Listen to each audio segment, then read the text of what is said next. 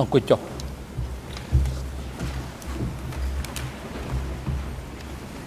អង្គនឹងជំរះប្រកាសបន្តបដំណើរការនៃទេពទីសំណាការមុននឹងផ្ដល់វិធានជូនទៅក្រមមន្ត្រីការពិក្រីសួរទៅអស់លោកលោកស្រីចក្រមថាតើមានសំណួរអ្វីចង់សួរសាកសីរូបនេះដែរឬទេបាទសូមជួយលោកចក្រមសងមកឡើងវិញ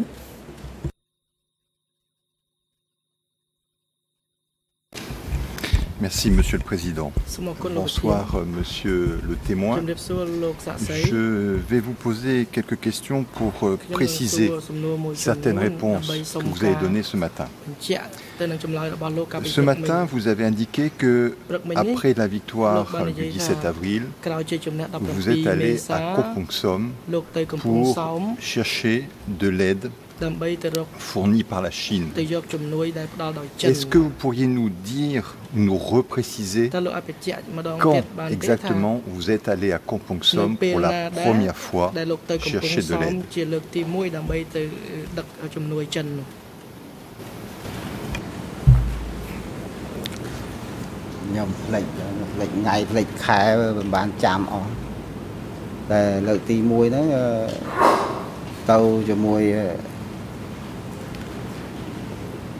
នបានចាំអស់តែលើកទី1ហ្នឹងទៅជាមួយអ្នកដែលទៅយកនោះវាមាន50អ្នកទៅយកសម្ភារៈជំនួយដែលដាក់ចេញពីកប៉ាល់គឺឡានតែផ្លេចថ្ងៃខែអស់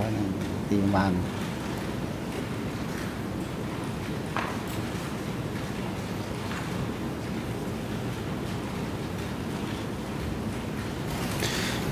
Mais est-ce que vous vous souvenez, monsieur, si c'était plusieurs mois après la victoire du 17 avril ou simplement quelques semaines après ou juste un mois après C'était. Vous pouvez donner une estimation de la durée entre le moment de la victoire et le moment où vous êtes allé à Kompongsom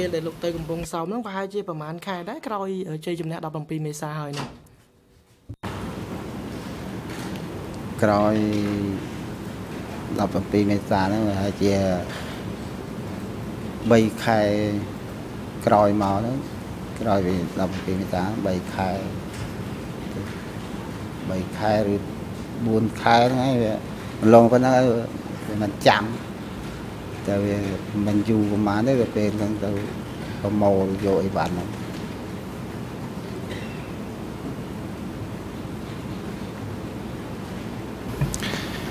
Quand vous étiez à côté de Pochengtong, vous avez vu des avions chinois atterrir sur l'aéroport de Pochengtong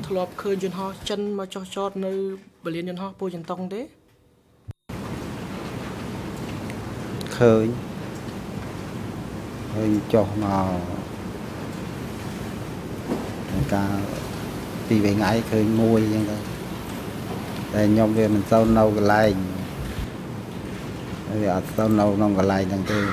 ចេញចូលចេញចូលគាត់តែឃើញចុះ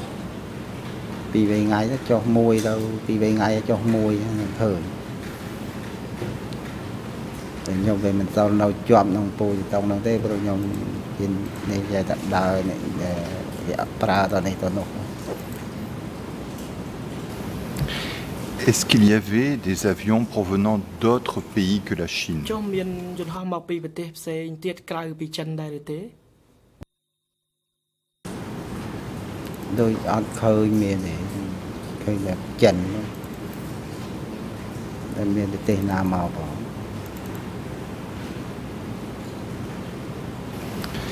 Les avions chinois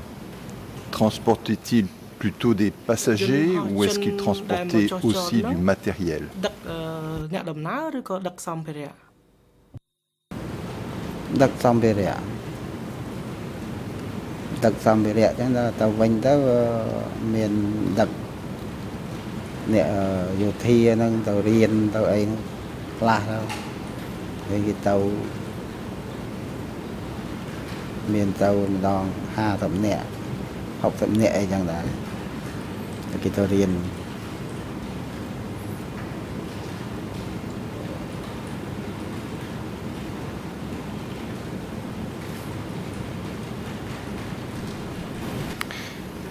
Les passagers qui arrivaient avec les avions chinois, ils étaient, c'était des conseillers chinois, c'était des personnalités cambodgiennes qui revenaient au Cambodge, c'était des étrangers. Est-ce que vous avez une idée de qui était transporté par ces avions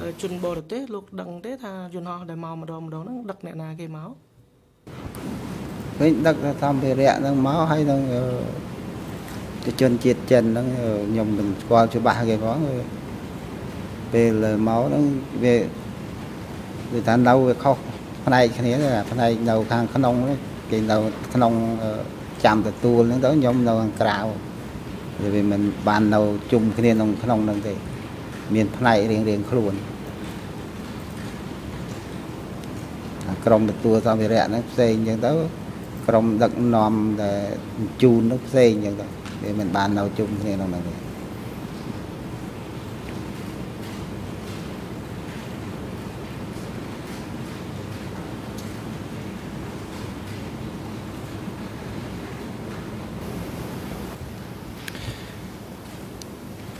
Quand vous allez aller à Kompong-Som, vous avez dit ce matin que parmi le matériel, il y avait effectivement des camions, il y avait du matériel euh, aussi qui était destiné à creuser des canaux. Et me semble-t-il que vous avez dit il y avait des paniers, il y avait des Est-ce que vous confirmez cela? Est-ce qu'il y avait bien du matériel qui était destiné à creuser des canaux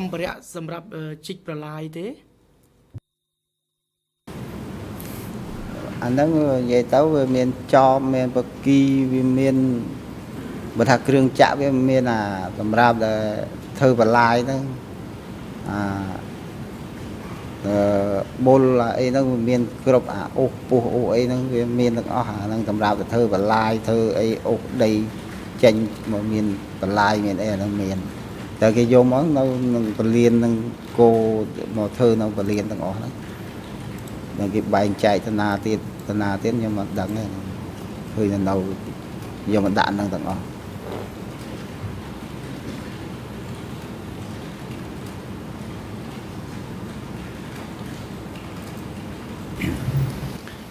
Mais ce matin, me semble-t-il, vous avez dit une partie du matériel était destinée au site de construction de l'aéroport de Kampong Chnang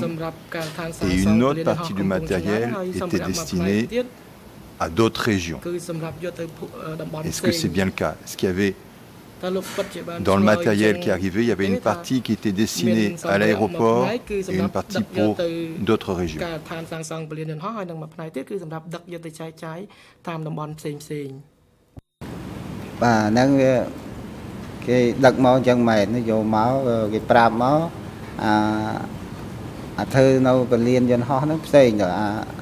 បាទហ្នឹងវាគេដឹកមកអញ្ចឹងមែនយកមកគេប្រាប់មកអាអាធ្វើនៅពលានយន្តហោះហ្នឹងផ្សេងទៅអាដឹកមកធ្វើបន្លាយផ្សេងតែយកមកដឹកមកជាមួយអាឡានដែលធ្វើពលានយន្តហោះទាំងអស់ហ្នឹងដឹកដាក់មកទាំងអស់មកហ្នឹងដល់មកដល់នេះបានគេបែងចែកទៅធ្វើបន្លាយតាមអដែងខេតតាមអីទៀតខ្ញុំនឹងខ្ញុំអត់ដឹងថាគេបែងចែកទៅខេតណាឬទៅភាគភូមិភាគណាខ្ញុំអត់ដឹងទេមកដល់នេះគេបែងចែកព្រោះយកពីនោះមកគឺយកមកតាមឡានសម្រាប់មកធ្វើអដែង ពលានយន្តហោះដូចជាចោបគីនិយាយមកគ្រប់មុខពិសេសថាដែលគ្រឿងដែលធ្វើបន្លាយគ្រឿងដែលធ្វើថ្នល់ជាតិហ្នឹងវាមានគ្រប់បែបយ៉ាងទាំងអស់តាំងពីអឺម៉ាស៊ីនកាត់ឈើម៉ាស៊ីនអីហ្នឹងវាមកទាំងអស់ហ្នឹងដូចតែអឺនេះចឹងយកមកដល់នេះបានគេបែងចែកដល់ហ្នឹងគឺខ្ញុំមិនសូវដឹងថាគេបែងចែកទៅដល់ស្រុកណាឬខេត្តណាហ្នឹងអត់ដឹងទេ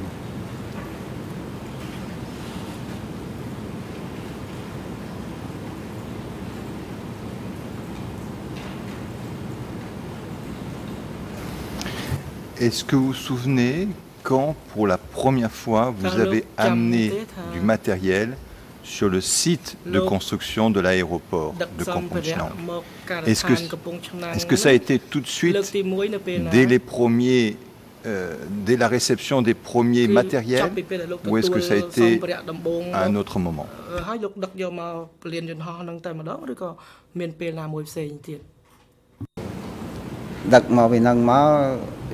ដែលសម្ភារៈដែលបើកកើតដោយអាឡានគេបើកមកខ្លះអឺឡូអីហ្នឹងគឺដាក់តាមអាទេសភ្លើងដល់មកដល់ស្រុកទឹកផុសហ្នឹងគេហៅថា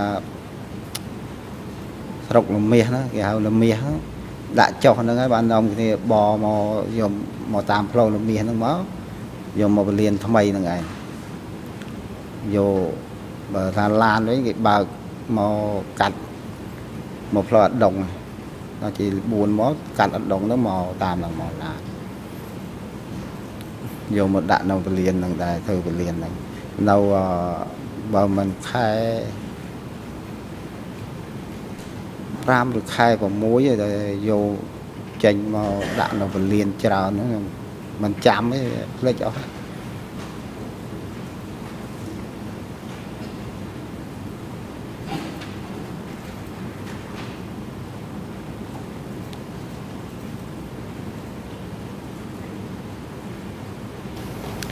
Quand vous dites mai ou juin, c'est mai ou juin 1975, c'est-à-dire juste après la victoire des Khmer Rouges, ou c'est mai juin de l'année 1976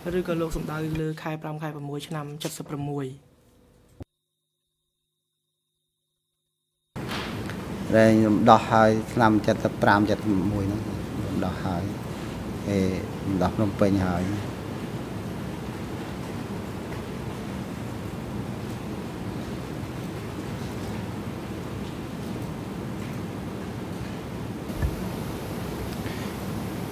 Donc ce matériel a été conduit dès mai ou juin 1975 à des entrepôts à proximité du site de construction de l'aéroport. Est-ce que c'est bien ce que l'on doit comprendre បា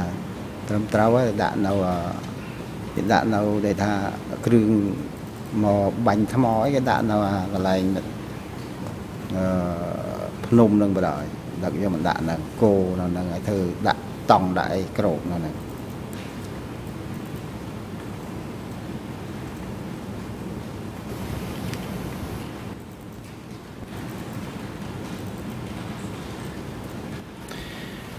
Est-ce que vous pourriez nous dire, si vous en souvenez, quand vous avez été en contact pour la première fois avec des conseillers chinois បានតាក់ទងជាលើកដំបូងជាមួយនឹងទីប្រឹក្សាចិន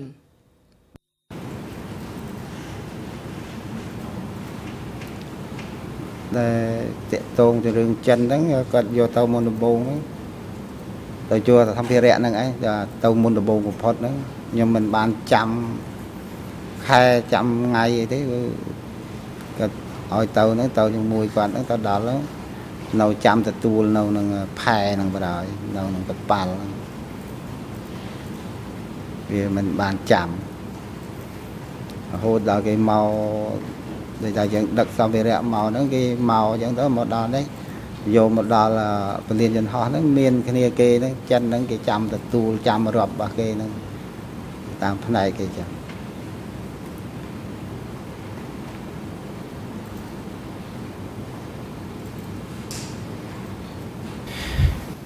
que vous pourriez nous donner une idée du, du nombre de conseillers chinois qui étaient présents à ce moment-là? Et est-ce que ce nombre a, a changé dans le temps? Est-ce qu'il a été... Euh, allez, est-ce qu'il a augmenté avec le temps ou est-ce qu'il s'est réduit ou est-ce que ça a varié? Est-ce que vous pourriez nous dire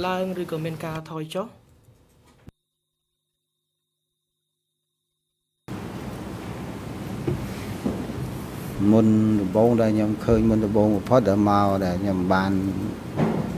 នាំតែគេឲ្យនាំទៅធ្វើយន្តហោះធ្វើអីហ្នឹង50នាក់ដល់ពេលបង្កើតជាពលានថ្មីហ្នឹងច្រើនជាជាង100នាក់មកច្រើនមកតាម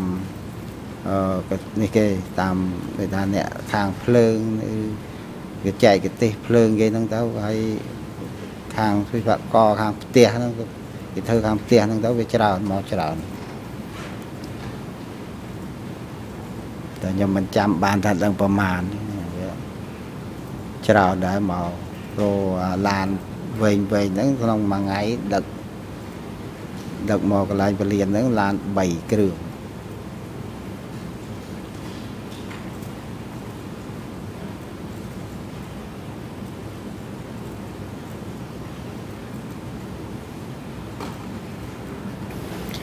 Est-ce que ces conseillers chinois parlaient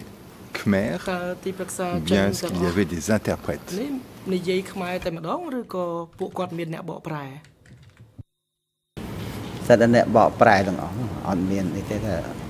បកប្រែចិនខ្លះហើយបកប្រែអ្នកខ្មែរយើងនៅនេះខ្លះដែលចេះចិនហ្នឹងបកប្រែខ្លះ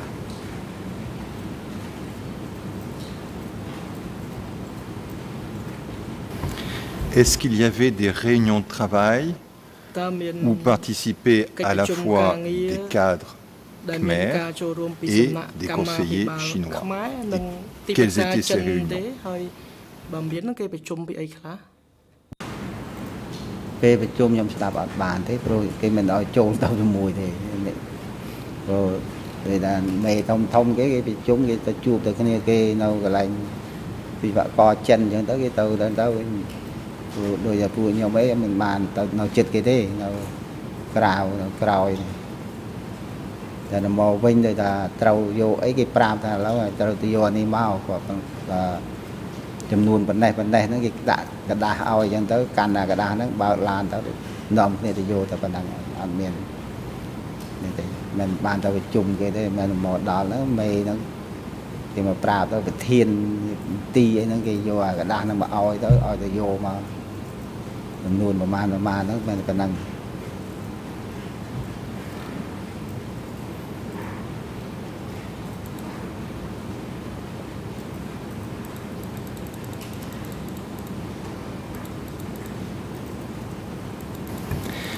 Alors, j'aimerais maintenant qu'on aborde un peu plus précisément les conditions de travail sur le chantier de l'aéroport. Vous nous avez dit que vous receviez des instructions. J'aimerais savoir, est-ce qu'il y avait des quotas de travail imposés pour chaque travailleur Est-ce qu'il y avait des objectifs chiffrés qui étaient imposés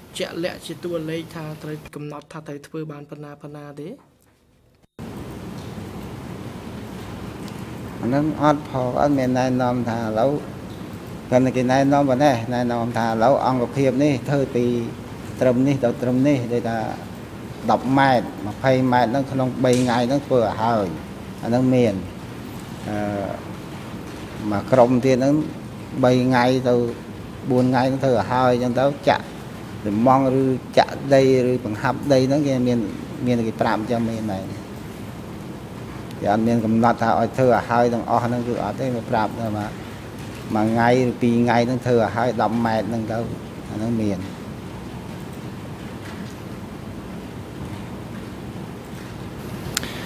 Vous avez dit ce matin qu'un des, travaux, des travaux les plus pénibles consistait à briser la roche. Est-ce que vous pourriez nous dire, nous décrire un peu plus en détail quelles étaient les conditions de travail Pour briser la roche comment on, on, comment on procédait et est-ce que c'était dangereux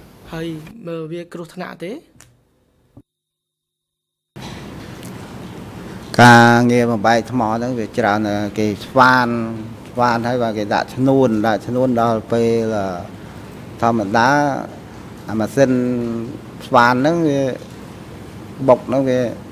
ធម្មតាអាម៉ាស៊ីនស្វានហ្នឹងវាបុកហ្នឹងវាធំធំហើយតយោហ្នឹងបុកញាក់ទាំងអស់ហើយចំនួនហ្នឹងយើងវា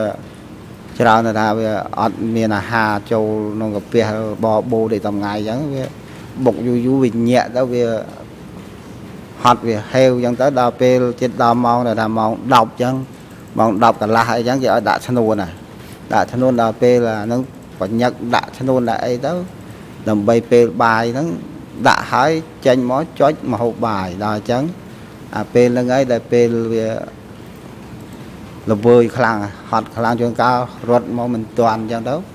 ដុតមានម្នាក់3 4កន្លែង5កន្លែងអញ្ចឹងទៅរត់អត់ទាន់ទៅមានថ្មហ្នឹងទៀតត្រូវលប៊ូសអីចឹងទៅព្រោះហត់លើភ្នំលើជើងភ្នំយើងអីមកវាបែកខ្លះដាក់ទៅខ្លួនធំធំចឹងវាបែកទៅត្រូវលប៊ូសជើងលប៊ូសក្បាលអីចឹងទៅវាមានចឹងរត់អត់រួចវាហត់ពេក ហូបមិនបបោច្រើនពួកវាយថ្មហើយនឹងខាងផ្នែកនារីនឹងច្រើនណាច្រើនរបួសច្រើនគ្រោះថ្នាក់ជាងគេមានពួកហ្នឹងឯង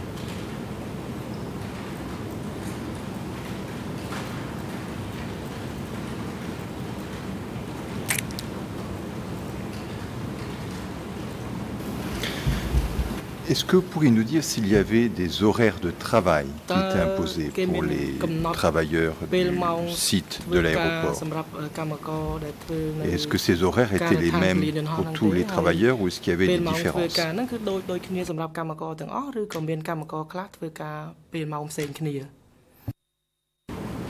ដូចគ្នាទាំងអស់ចេញទៅព្រឹកឡើងចេញទៅទាំងអស់គ្នា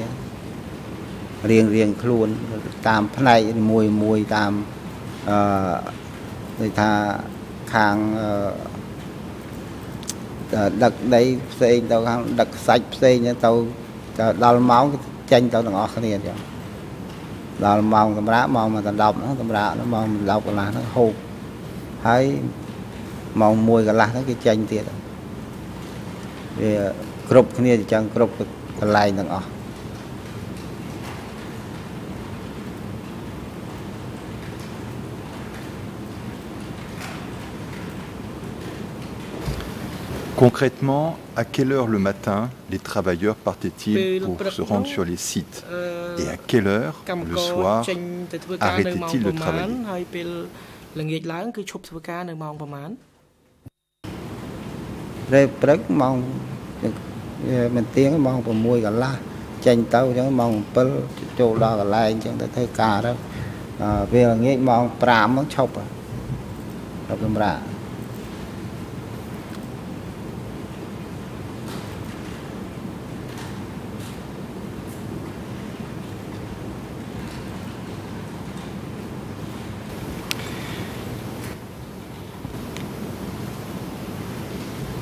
Est-ce que les conseillers chinois qui travaillaient sur le site de l'aéroport avaient les mêmes horaires de travail Est-ce qu'ils avaient le même régime alimentaire que ceux qui travaillaient, que les travailleurs cambodgiens អត់ទេចិនគេមានអឺមហោមហាគេផ្សេងព្រឹកឡើងអឺ មួយពេលថ្ងៃឡើងមួយពេលទៀតងាកឡើងមួយពេលទៀតគេហូបនៅនេះនោះប្រទេសចន្ទរិមានតែខ្មែរយើងទេកម្មអត់ពួកយោធាដែលធ្វើការនេះអត់ទេផ្សេងបើថាចិនគេផ្សេងរបបគេផ្សេងគេហូប3ពេល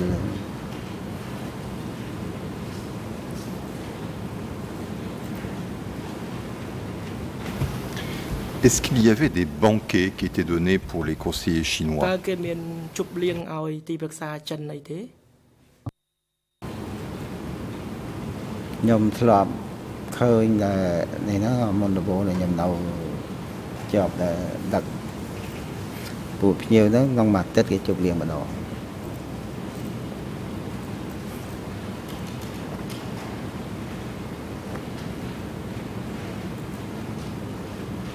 យន្តហោះធ្វើ អីហ្នឹងទៅគេមកទឹកគេជប់លៀងម្ដងឲ្យចិន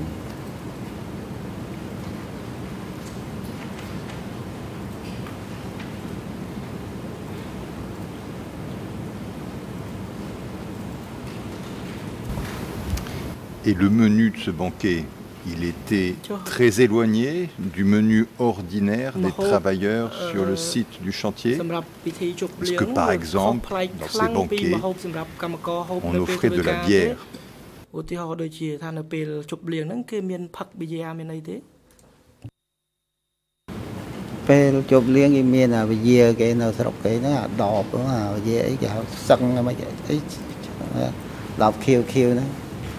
មានផឹកប៊ីយ៉ាមានអីទេពេលជប់លៀងគេមានអាវិយាគេនៅស្រុកគេហ្នឹងអាដបអាវិយាអីគេហៅសឹងមិនអីដបខៀវខៀវហ្នឹងមានរបស់គេអញ្ចឹងទៅហើយអត់ជប់លៀងហ្នឹងក៏គេហូបរបស់គេមកហូបគេបបោអឺមិនដូចអីពួកយោធាយើងទេធពួកយើងមានបបររាវបបរខាប់ពេលយប់ឡើងថ្ងៃងាកបបររាវទៅ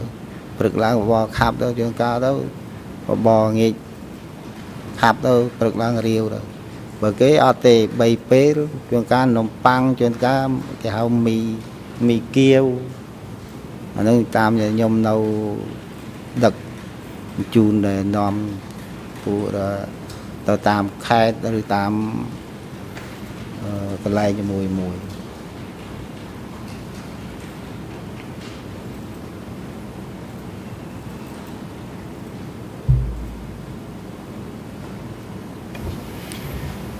Est-ce que les Chinois ont été témoins des accidents qui se produisaient sur le chantier ou des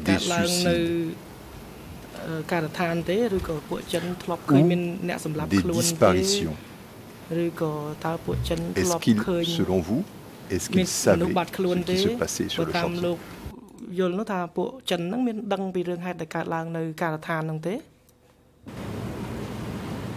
មានដឹងពីរឿងហេតុដែលកើតឡើងនៅការដ្ឋានហ្នឹងទេមានដែរមានដឹងចឹងដែរដឹងបាត់ខ្លួន ដឹងសម្លាប់ខ្លួនដែរដឹងឈឺ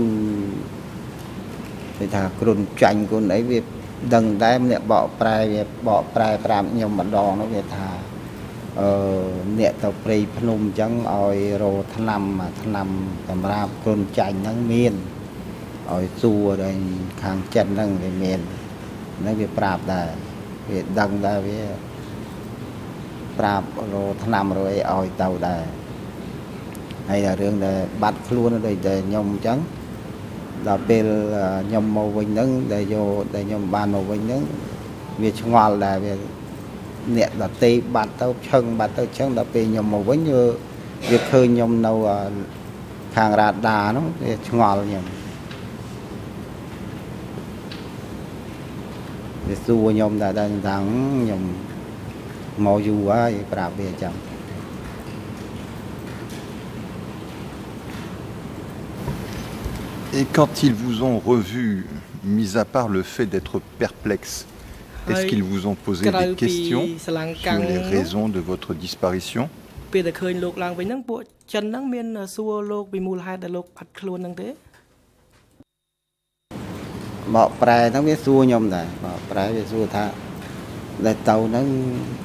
គេយកទៅដល់ណាទៅអីដល់ណាខ្ញុំថាមិនដឹងដល់ណាដល់ណាទេដល់ភ្លៀងគេឲ្យចេញវិញរត់ចេញវិញរត់មករត់មកទៅបានប្រាប់វាថាមេតនឹងជួយឲ្យមកនៅកន្លែងហ្នឹងទៅហើយខ្ញុំក៏តាមពីហ្នឹងមកក៏ខ្ញុំមិនបានជួបអីទៀតខ្ញុំឈប់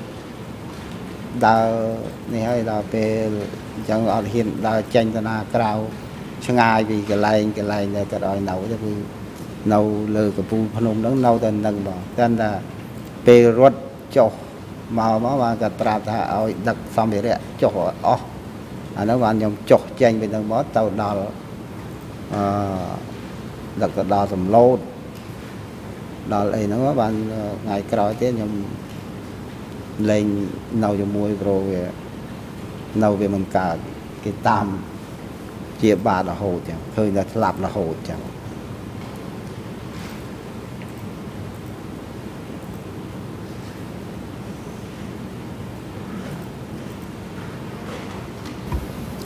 J'ai pas compris qui vous a créé des problèmes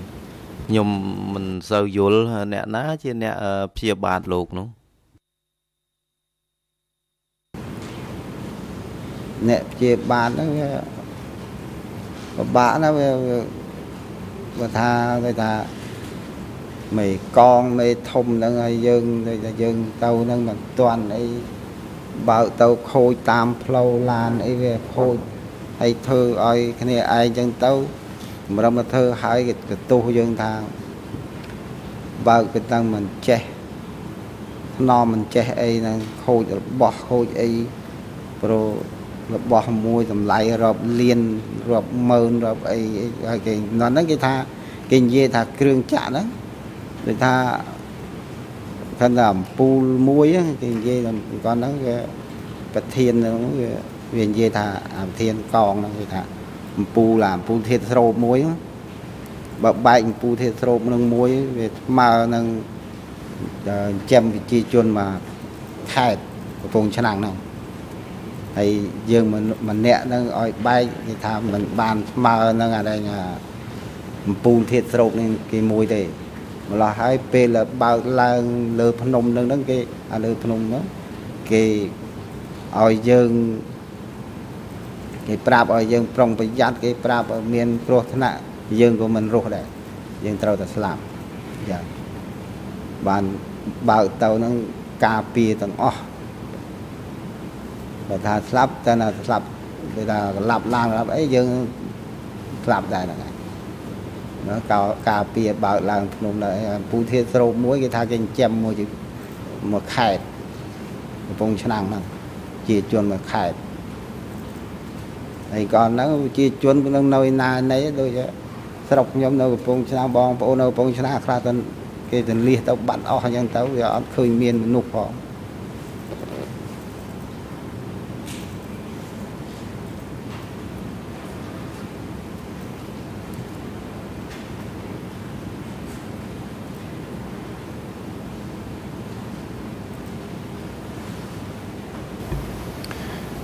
tous les habitants qui habitaient originairement dans la région de l'aéroport avaient tous été évacués. Il n'en restait plus un seul sur place. C'est ce qu'on va comprendre. ចឹងលោកចង់និយាយថាអញ្ចឹងឬយ៉ាងម៉េចប្រជាជននៅមានដើមកំណើតនៅពលានយន្តហោះហ្នឹងគេជំលះចេញទៅក្រៅអស់ហើយទៅកន្លែងផ្សេងអស់ហើយខ្ញុំត្រូវយល់អញ្ចឹងឬក៏យ៉ាងណា បាទអញ្ចឹងឯងអ្នកដែលនៅនឹងអត់មានទេចាញ់អស់គេទៅលះចេញពីនឹងអស់អត់មានឲ្យនៅទេ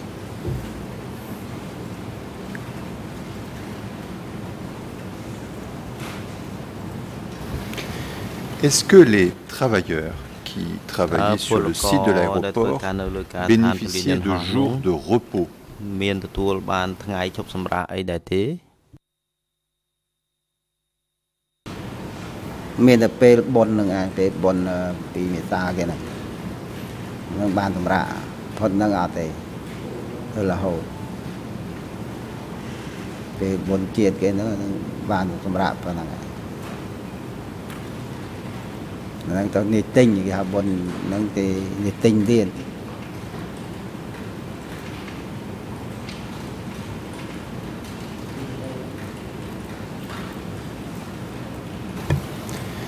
Est-ce qu'il y avait un jour de repos, par exemple, tous les 10 jours?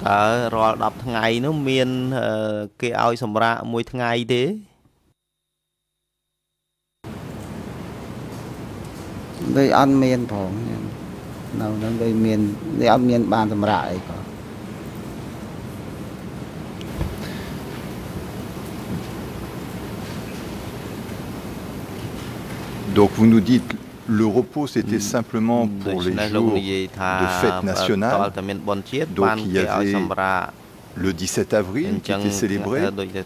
mais il y avait combien de journées dans l'année où on pouvait se reposer ក្នុងមួយឆ្នាំនោះពលករអាចសម្រាកបានប្រមាណថ្ងៃដែរ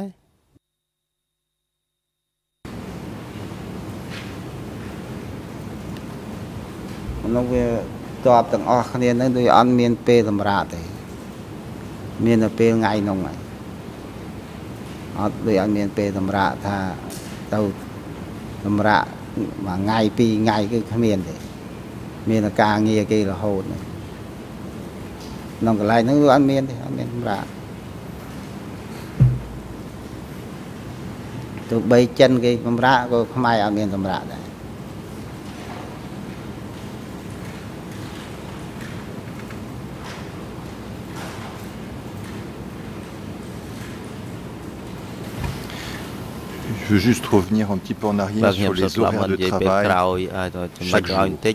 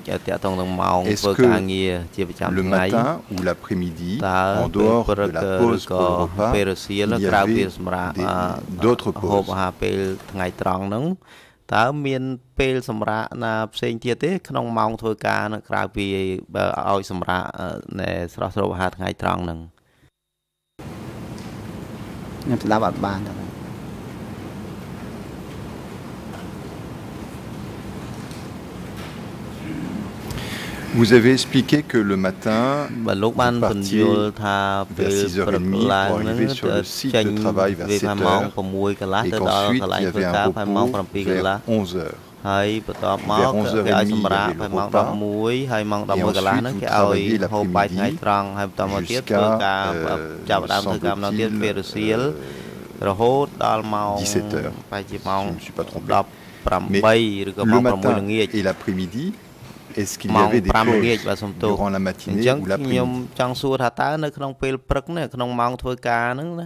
ឬក៏ពេលរសៀលហ្នឹងគេមានឲ្យសម្រាកដែរឬទេក្រៅពីឲ្យសម្រាកហូបបាយថ្ងៃត្រង់នេះដូចអត់មានសម្រាប់ស្អីផងនៅតាមដូចថាអង្គភាពណាក្រុមណាដូចមកក្រុមហ្នឹងធ្វើហ្នឹងទៅគាត់ថាហត់ហេវខ្លាំងមានសម្រាប់មកផ្លេតអីចឹងទៅបាន មេក្រុមនឹងគេឲ្យសម្រាប់មកផ្លេតចឹងទៅនៅគ្នាធ្វើទៀតទៅទៅគាត់មានថាអូចាំដល់ដល់ម៉ោង7ដល់ម៉ោង8ឬម៉ោង9សម្រាប់1ម៉ោងអីអត់ទេស្រេចតែដូចថាមេក្រុមនឹងនឹកឃើញហ្នឹងសម្រាប់បន្តិចទៅឬមួយជក់ថ្នាំជក់អីហ្នឹងហូបទឹកហូបអីអាហ្នឹងមានគេឲ្យសម្រាប់មួយផ្លេតមួយផ្លេតអញ្ចឹងមាន តាមមេក្រុមមេកងវាទៅមេកងណាខ្លាំងទៅគេគឺអាខ្លះមិនបានសម្រាប់អីផង វាអ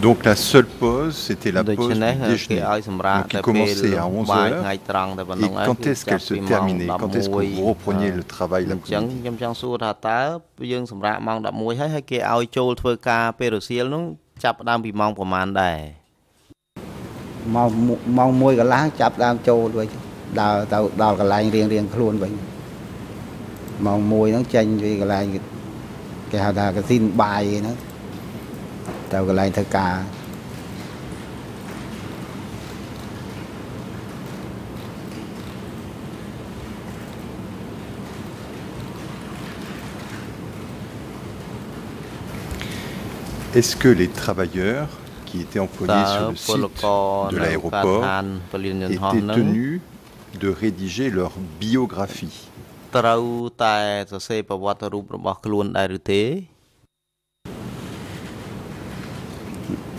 អ្នកនៅនឹងទាំងអស់តែគ្នាគេឲ្យធ្វើប្រវត្តិរូបសង្ខេបអឺប្រវត្តិហ្នឹងប្រវត្តិរូបហ្នឹងគេដាក់ឲ្យយើងដាក់ថ្មោះត្រង់នឹងបាក់និយាយស្អីក៏ត្រង់នឹងបាក់ការងារយ៉ាងដែរការងារបាក់ដាក់ឲ្យត្រូវតែធ្វើ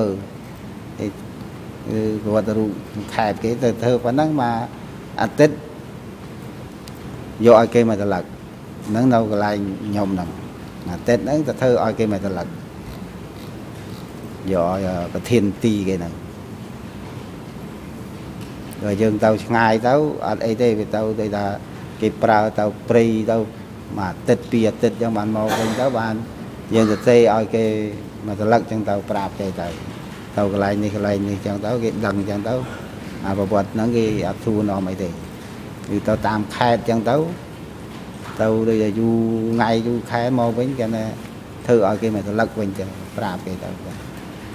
វាមានប្រវត្តិនឹងរហូតចឹងគេឲ្យយើងបដិញ្ញាចិត្តគេចឹងដាក់ថ្មោះត្រង់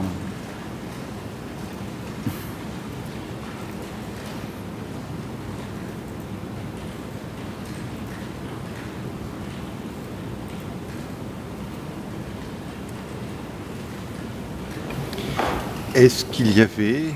des éléments dans la biographie qui étaient susceptibles d'être considérés comme étant ce qu'on appelle des mauvaises tendances Est-ce qu'on a employé ce mot mauvaise tendance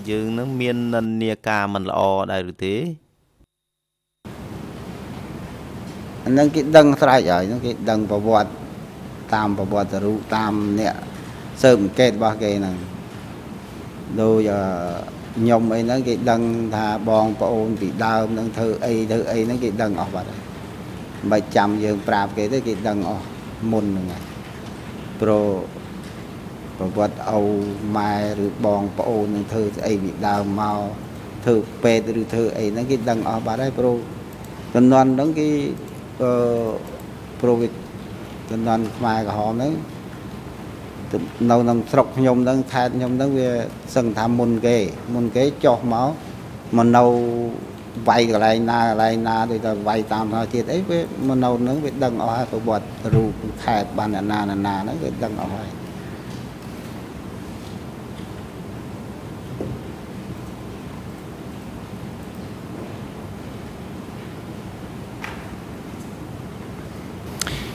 Et est-ce que vous savez ce qui intéressait particulièrement les Khmer Quel genre d'informations recherchaient-ils ពួកគេនឹងចង់បានព័ត៌មានបែបណាដែរខ្ញុំអត់យល់ឡើយ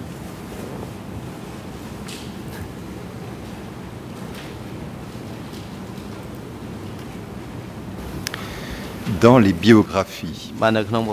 quelles étaient les informations qui intéressait particulièrement les Khmer ចាប់អារម្មណ៍លើព័ត៌មានប្រភេទណាដែរព័ត៌មានដែលយើងសរសេរក្នុងប្រវត្តិរូបហ្នឹងតើឧទាហរណ៍ថាពេលគេចាប់អារម្មណ៍លើការដែលយើងមានពុកម្ដាយធ្វើការជាមន្ត្រីរដ្ឋការយោធា qui était susceptible d'intéresser les ជាដើមនៅរបបចាស់នោះអញ្ចឹងតើខ្មែរក្រហមគាត់ពួកគេចាប់អារម្មណ៍លើព័ត៌មានប្រភេទណានៅពេលដែលគេឲ្យយើងទៅសេប្រវត្តិរូបហ្នឹងណា អាហ្នឹងប្រវត្តិរូបហ្នឹងអឺកាលចំនួនខ្ញុំនៅហ្នឹងគេឲ្យទៅថាខ្ញុំហ្នឹងមានបងប្អូនប្រមាណអ្នកបងប្អូននឹងធ្វើអីឪពុកម្ដាយនឹងធ្វើអី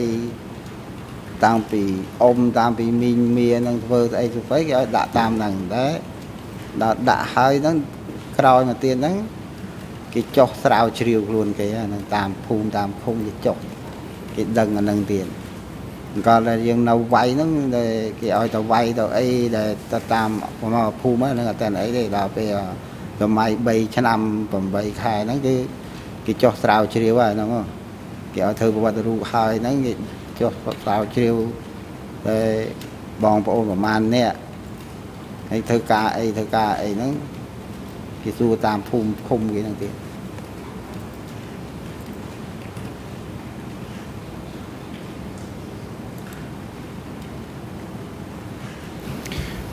comment avez-vous eu connaissance de ces enquêtes qui étaient menées តើលោកដឹងថាគេ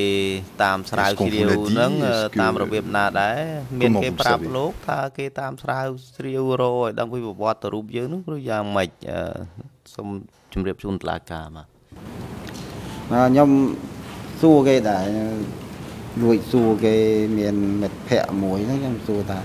ដែលគេទៅសួរហ្នឹងគេសួរតាម ណារយៈណាគេថាគេចុះទៅតាមដូចថាខ្ញុំនឹងនៅឃុំក្រាងឆ្កៀអញ្ចឹងគេចុះទៅឃុំក្រាងឆ្កៀអញ្ចឹងទៅហើយភូមិណាហ្នឹងគេចុះទៅតាមហ្នឹងគេស្រាវជ្រាវតាមហ្នឹងទៅដល់អញ្ចឹងគេដឹងប្រវត្តិទាំងអស់ហើយលាក់គេអត់បានទេសម័យហ្នឹងគេលាក់មិនបាន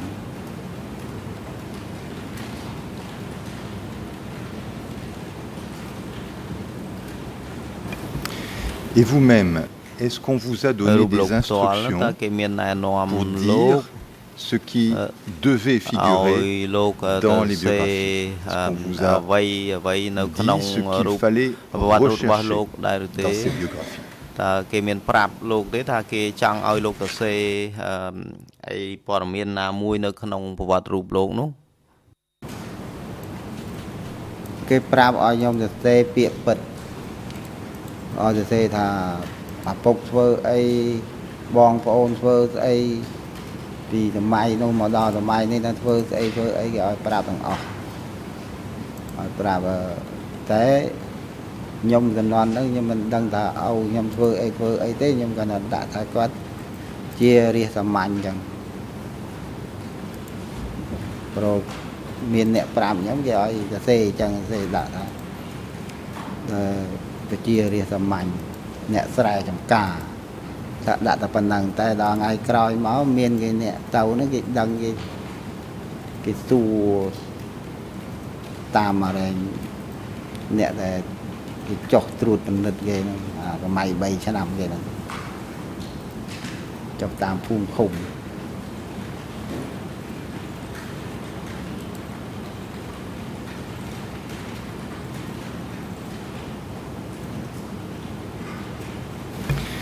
J'aimerais aborder une dernière série de questions qui concerne votre arrestation et votre évasion. Vous avez déclaré que vous aviez compris à un certain moment, après votre arrestation, que vous aviez été conduit dans une grande prison. Et si j'ai bien entendu ce que vous avez dit, vous avez déclaré que vous aviez reconnu que vous étiez arrivé à Tuolslang.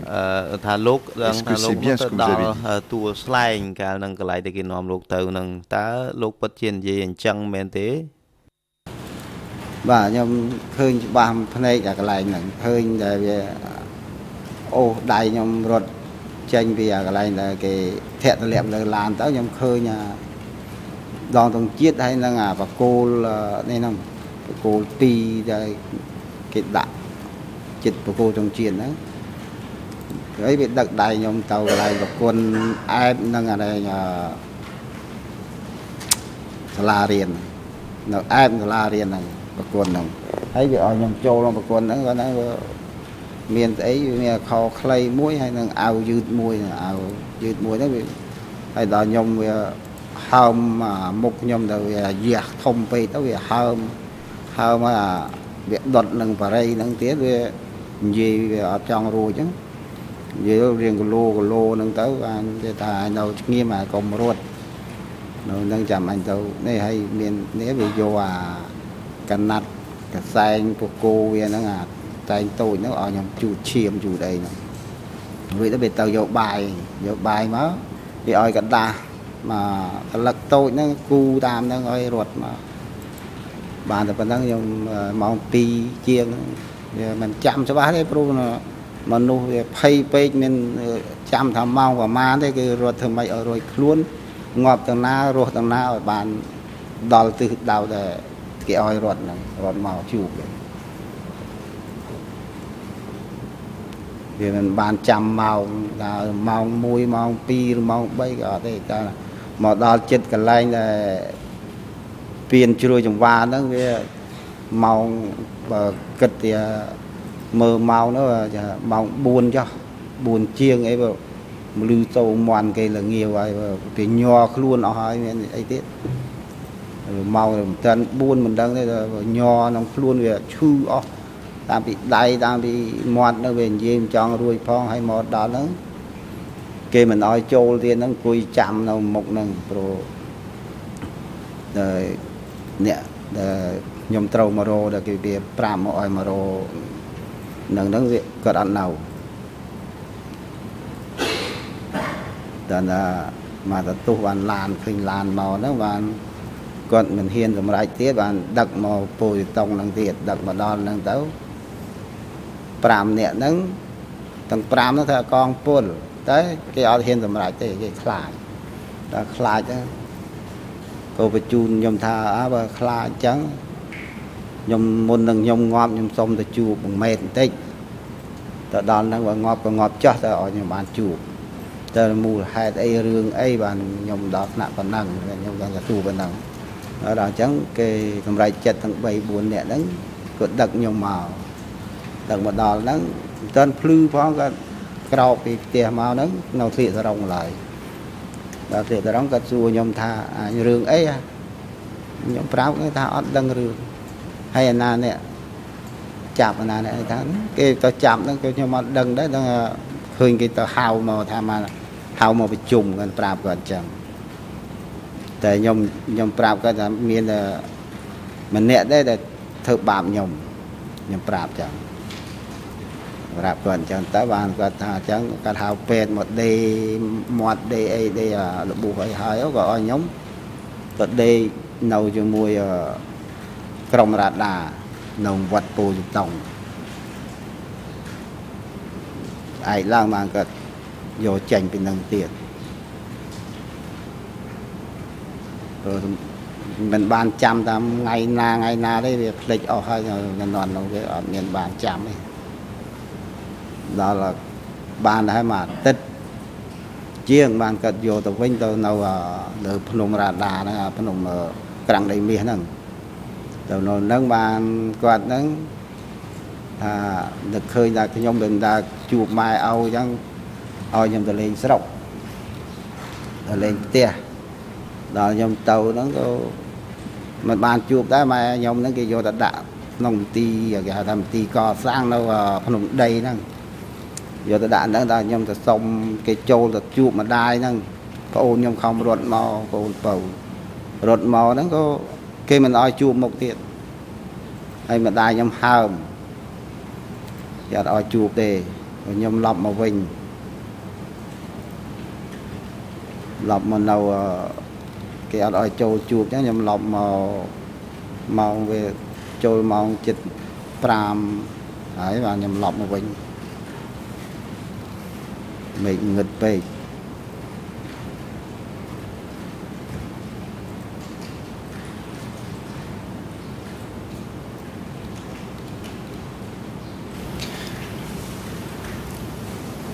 Je vais essayer de revenir un tout petit peu en arrière. Est-ce que vous étiez déjà allé à Tuolslang avant d'y être conduit dans le cadre de votre arrestation Est-ce que vous connaissiez ces lieux avant d'avoir été arrêté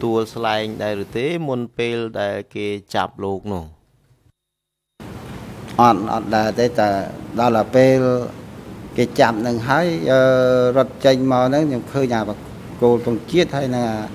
នេះទៅខ្ញុំសួរ ពូម៉ាក់ខ្ញុំដែលវាឲ្យខ្ញុំរត់ហ្នឹងសួរទៅវាប្រាប់វាប្រាប់ហ្នឹងឯងទួឆ្លែងហើយគាត់ចឹងទៅវាថាមិនបាច់សួរអីច្រើនទេរៀបនៅងៀមទៅនៅនេះទៅអញទៅរោបាយរអីឲ្យហូបហើយកុំមាត់កុំអីកុំនិយាយច្រើនពេកនៅស្ងៀមហើយកុំរត់គាត់នេះវាប្រាប់ប៉ុណ្ណឹងថាអត់ឲ្យរត់ទេតែរត់ងាប់ហើយព្រោះវាអត់មានដឹងផ្លូវរត់ទេ ហើយតាមពីហ្នឹងមកក៏បែកគ្នារហូតក៏មិនដើរបានជួបគ្នាទេអ្នកជួយខ្ញុំហ្នឹងក៏មិនបានស្រាវជ្រាវរោសួរគេថាអត់ដើរឃើញមិនដើរដឹង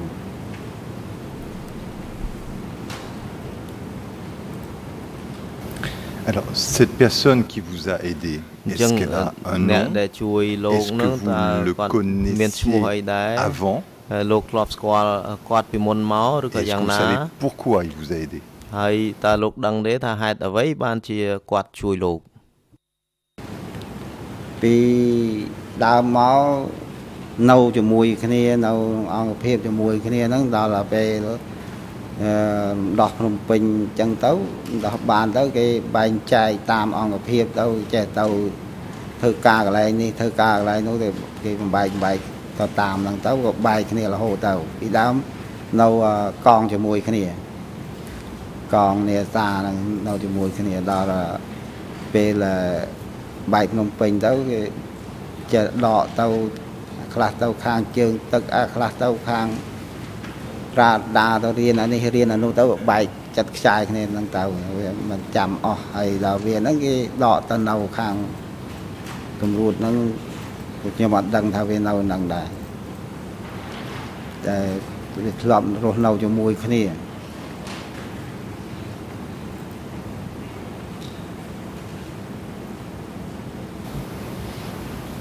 Vous vous souvenez de son nom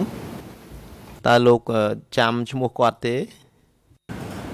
ចាំឈ្មោះគេហៅគាត់ហ្នឹងគេហៅថាម៉ៅអាម៉ៅមិនម៉ៅមិនម៉ៅរៀងខ្មៅគេទឺដូចហ្នឹង ប៉ិនឡើងដើមឈើដែរដល់អញ្ចឹងគេហៅម៉ៅផងគេហៅស្វាក្រេះផងស្វាក្រេះផងទៅនោះហ្នឹងវាប៉ិនឡើងដើមឈើដើមព្រីងដើមអីវាប៉ិនឡើងបេះឲ្យគេស៊ី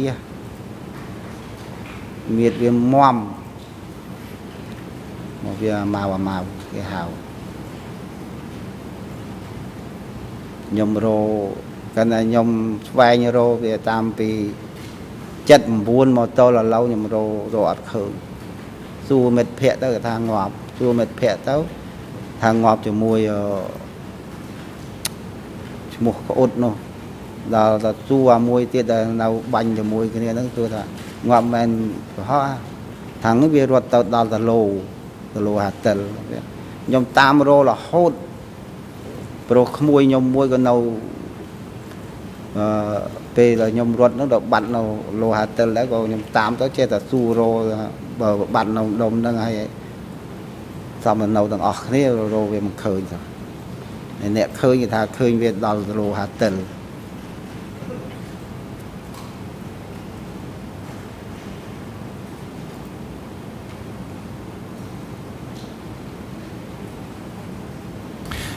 Donc cet ami vous aide, il vous cache dans les toilettes, il vous donne un plan pour vous enfuir. Vous vous enfuyez seul et est-ce qu'il vous dit où vous devez aller តើលោករត់រត់កិច្ចដោយខ្លួនឯងទៅរត់កិច្ចខ្លួននឹងដោយខ្លួនឯងហើយគាត់នឹងប្រាប់ថាណែត្រូវទៅតាមផ្លូវណាផ្លូវនេះផ្លូវនោះអញ្ចឹងទៅឬក៏យ៉ាងម៉េចដោយតែម្នាក់ឯងទេឬក៏មានអ្នកអមដំណើរជាមួយដែរជូនដំណើរតែឯង មកតែឯងគាត់ឲ្យមកជួបតាវិនមកជួបឈ្មោះវិនវិននឹងឲ្យមកផ្ទះវិននឹងទៅឯងព្រោះវានិយាយថាឯងយើងនៅធ្លាប់រស់នៅជាមួយគាត់ធ្វើការជាមួយគាត់យូរហើយហើយគាត់ជួយជីវិតយើងហើយទៅហ្នឹងមុនងំមុនរស់អញជួយបានតែប៉ុណ្្នឹងទេហើយទៅដល់ហ្នឹងទៅដល់ខ្ញុំមកដល់ផ្ទះវិញហ្នឹងចិត្តវិញហ្នឹងក៏នៅចិត្តស្ពានជ្រួយចង្វាយើងនេះផ្ទះគាត់ នៅផ្សារតូចហ្នឹងមកដល់ហ្នឹងអាអ្នកយាមហ្នឹងយាមផ្ទះគាត់ហ្នឹងវាអត់ឲ្យចូលគេថាចាំគាត់មកទៅ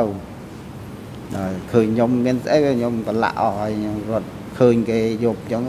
អាអ្នកដើរយាមអញ្ចឹងហក់ចូលលូអញ្ចឹងទៅដើរចេញពីលូហក់ចូលលូឲ្យទៅធ្វើម៉េចឲ្យបានមកដល់ផ្ទះគាត់ដល់មកដល់ហ្នឹងវាប្រឡាក់ផងអីផងអញ្ចឹងទៅមកបានគាត់មកឃើញ ហៅចូលទៅគាត់សួររឿងអីដល់ឲ្យក្តាស់ហ្នឹងមើលទៅហ្នឹងអញអត់ហ៊ានធានាទេមានធានាអីហើយតែជួបគេនោះគាត់ក៏ដឹកមកពូជតុងដល់ពូជតុង5 5នាក់តែតកងពលឈ្មោះអឺគាត់មើលតាមពីបងលោកវ័យតាមពីនេះតបុនហើយនឹងគាត់នឹង អត់មានណាហ៊ានគេថាអត់ហ៊ានដល់ហ៊ានខ្ញុំក៏វាឈឺផងហើយវា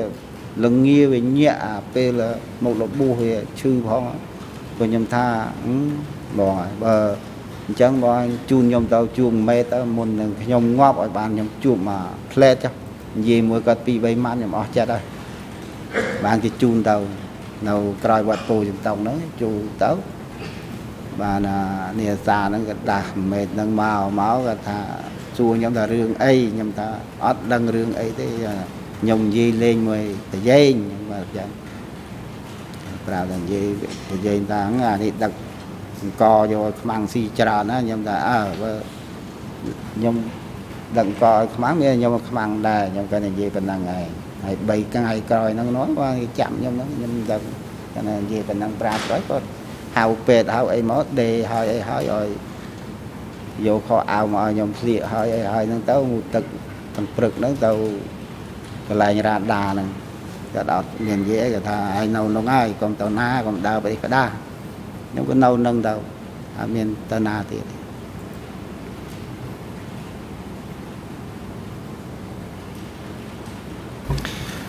Est-ce que vous connaissiez celui que vous appelez Tawon et qui me semble-t-il dans le procès verbal est, est indiqué comme étant Tavin C'est Tavin ou Tawon តាវួនឬក៏តាវិននិយាយនៅក្នុងកំណត់ហេតុសម្រាប់លោកនេះ Qui était Tawon ចឹងខ្ញុំសួរថាតាវឿនហ្នឹងជាអ្នកណាហើយតាវិនហ្នឹងជាអ្នកណាតាវិនហ្នឹងកងពលដែរកងពល130 ខ្ញុំធ្លាប់នៅជាមួយគាត់ដែរមកតាវិនតែនឹងតែចាស់ចាស់ពីដើមហ្នឹងហើយជាមួយ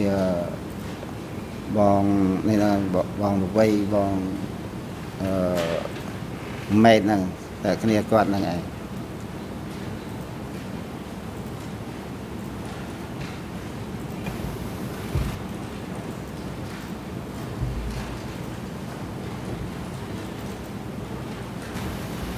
Est-ce que Taoun était le gendre de Tamok តើតាវិនហ្នឹងគាត់ជាកូនប្រសាតាមុកមែនទេបាទនឹងគាត់ពីនេះខ្ញុំដឹងដែរដឹងថាគាត់នឹងមានកូនសាតាមុកតែគាត់នៅហ្នឹងពីដើមគឺថាខ្ញុំប្រើខ្ញុំប្រើអីហ្នឹងគាត់មិន នេះដីប្រហែលអីកាចអីទេក៏ធ្លាប់ដូចថាខ្ញុំអីហ្នឹងពេលណាធ្វើមហូបធ្វើអីហ្នឹងហៅខ្ញុំទៅធ្វើមហូបឲ្យប្រូថាម៉ែឯងទៅធ្វើមហូបទៅឯងបានសាច់អីអីចឹងក៏ថាឯងទៅធ្វើមហូបឯងធ្វើឆ្ងាញ់ហើយចេះតែយកខ្ញុំទៅជួយធ្វើទៅអីទៅដល់ពេលនេះទៅក៏តែនិយាយលេងមួយខ្ញុំមិនដែលថាគាត់ជេរឬគាត់កាចកោងកាចដាក់ខ្ញុំគឺអត់ទេ គាត់ថាខ្ញុំធ្លាប់ធ្វើមហូបធ្វើអីឆ្ងាញ់ទៅគាត់ទៀតហៅឲ្យធ្វើមហូបធ្វើអីជាមួយមិត្តភ័ក្តិគាត់ថាម៉ៅម៉ៅហ្នឹងឯងព្រោះម៉ៅហ្នឹងវាដើរវានៅមួយគាត់ហ្នឹងឯង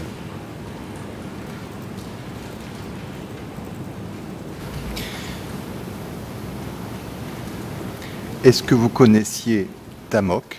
Et est-ce que Tamok est venu visiter le site du chantier de l'aéroport ហើយតាមុកនឹងធ្លាប់ទៅមើលការឋានពលានយន្តហោះនៅកំពង់ឆ្នាំងនឹងដែរឬទេតាមុកខ្ញុំធ្លាប់ស្គាល់មិនតែក្នុងការដ្ឋានហ្នឹង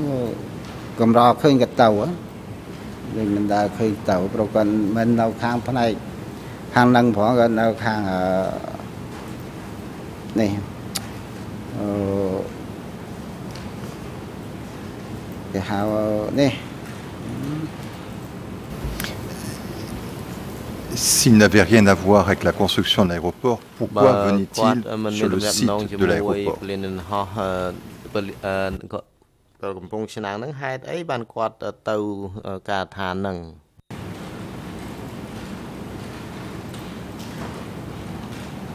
គាត់ គាត់ផ្នែកខាងស៊ីវិលក៏ហ្នឹងក៏នៅខាងភូមិភាគភូមិភាគនេះដីអឺខ្ញុំរឿងទៅហ្នឹងខ្ញុំអត់ដឹងថាគាត់ទៅផ្នែកស្អីស្អីខ្ញុំអត់ដឹងដែរព្រោះពីដើមគាត់នៅតបមែននៅខាងតបហ្នឹងខ្ញុំថាឃើញថាចុះទៅតាមប្រមភូមិអីគាត់នៅក្រោយទៅខាងកខាងអីហ្នឹងឃើញទៅយកកយកអីឃើញម្ដងមកយាមអញ្ចឹង ដល់ពេលរំដោះបានហ្នឹងគាត់នៅខាងភូមិភាគហើយតើពួកខ្ញុំហ្នឹងគេគេដាក់គាត់ហ្នឹងមេតហ្នឹងនៅកាន់ខាងតបអាកាសតបអាកាសហ្នឹងគេហៅតបមឈឹមខ្ញុំបានដឹងមក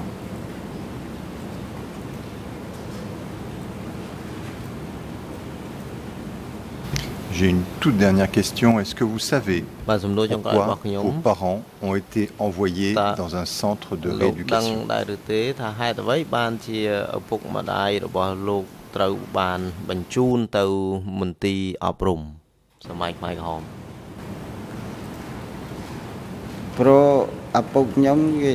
ឪពុកខ្ញុំក៏គាត់ខាងនេះអឺគេហៅមេភូមិពីដើម នឹងគាត់នៅខាងអីទេមានគាត់មានខ្ញុំកើតតន់គាត់មានអាត្រង់ស៊ីមួយដើមនៅគេថាខាងភូមិជីវពលអីពីដើមគេហៅថាជីវពលពីដើមមានត្រង់ស៊ីមួយដើមនៅផ្ទះហ្នឹងព្រោះខ្ញុំដឹងនេះតូចតូចមកចោលទៅលួចគោតាខ្ញុំប្រាប់ហៅថាអាទូចោ លលួចគោហើយហ្នឹងឃើញក៏ទាញក៏ភ្លើងត្រង់ស៊ីហ្នឹងឯងតរោបាញ់ចោលហ្នឹងខ្ញុំដល់ក្រោយមកទៀតបាទខ្ញុំដឹងថាគាត់មានក៏ភ្លើងហ្នឹងគឺខាងជីវពលហើយដល់ក្រោយមកទៀតហ្នឹងគេដឹងថាឪខ្ញុំហ្នឹងខាងជីវពលខាងអីបងប្អូនខ្ញុំហ្នឹងបងបងខ្ញុំហ្នឹងធ្លាប់ដូចថាគេចាប់យកមកធ្វើទាហានអញ្ចឹងដល់រួចទៅដល់ហ្នឹងទាហានអីគេហ្នឹងទាហានមិនទេ ដល់រួចទៅនៅវិញគេចាប់ទាំងអស់ហ្នឹងបងប្អូនខ្ញុំ10នាក់ហ្នឹងគេចាប់ទាំងអស់វាជាប់គុកទាំងអស់គ្នាតែរួចខ្លួនសប្ងៃហ្នឹងនៅដល់9នាក់ដោយសារអាហ្នឹងនៅវត្តអឺនេះហ៎អឺវត្តបលបោបើបើវាបោកក្របបែកថ្ងៃហ្នឹងបើខ្ទុះក្របបែកវាងាប់ទាំងអស់ដែរបងប្អូនខ្ញុំទៅវាបោកទៅវាអត់ខ្ទុះ បានតែបែកក្បាលបែកអីបន្តិចតួច